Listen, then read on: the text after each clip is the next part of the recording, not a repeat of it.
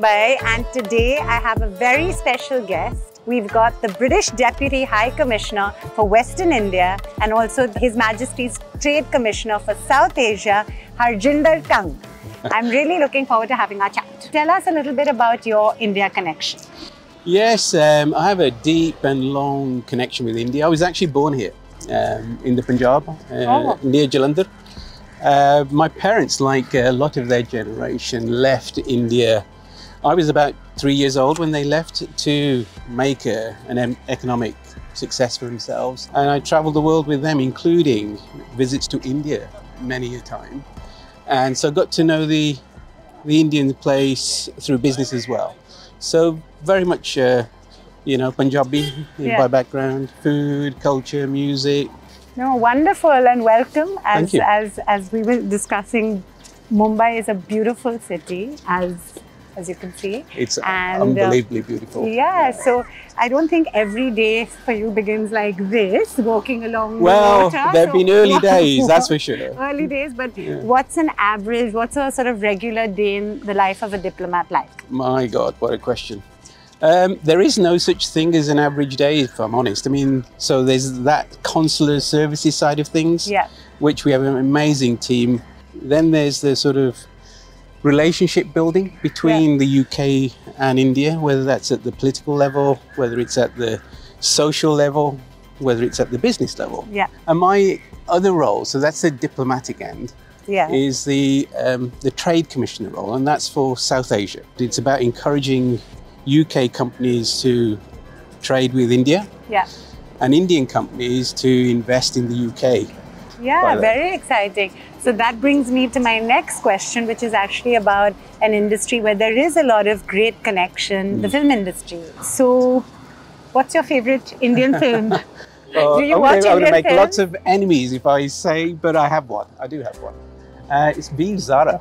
Okay. I watch nice. it time and time again. I've actually got it on DVD, and my wife's saying, you know, the life has moved on to sort of Netflix and the likes. But I said, no, no, no, that one I, I, I Oh, nice, And, uh, excellent. And do your kids? You have three daughters. yes, yes. And do they do they watch Indian films at all? They do.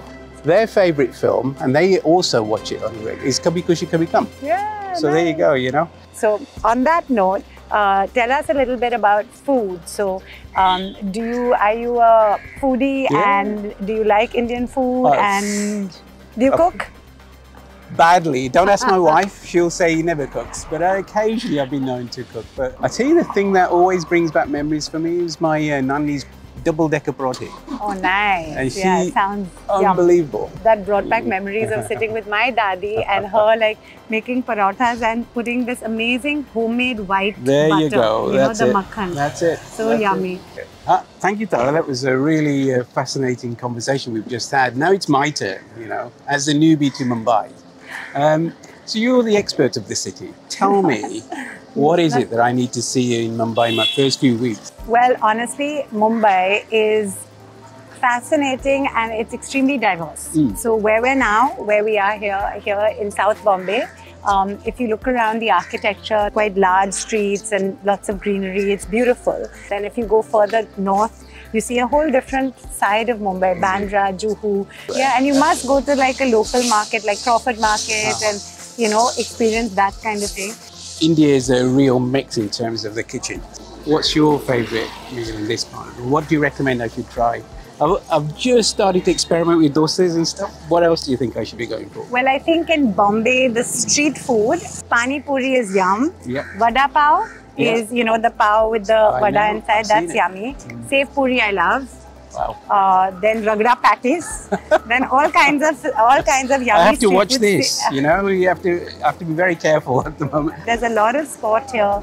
Um, you Well, know. talking of sport, IPL. I've got to ask you, who's your team? right now I'm supporting uh, Chennai because I'm very partial to the to Dhoni. Yeah, so of course, being from Mumbai, Mumbai Indians as Hmm. well, that's a favorite. But you know, apart from cricket, which of course is a religion in India, a lot of other sports are also really coming up, like kabaddi and even football. Oh, uh, fascinating to say football is now starting to take off here. And obviously, Yeah. it's uh, the UK is the sport of Yeah. uh, the capital of the football game. Even though the Italians and the French and the Germans might disagree, but it, it's true. There we go. Dada, that's been amazing. Is there any final advice you would give to me and my wife as someone who's going to be here for a few years? I would say, um, you know, it seems that you guys are on the right track with mm. having an open mind and deciding to love Bombay because I think if you decide to love it, you'll love it and you'll get a lot from the city. I mean, we felt that, and the city has been incredibly warm and welcoming to us. The first month, we already feel now we're part of here. Yes. So yeah. Lovely to have met you. Same Thank you here. for all really the advice. Lovely. And, Thank uh, you as well. Till and next looking time. forward to yeah meeting in India and in England. And it's all one, one world.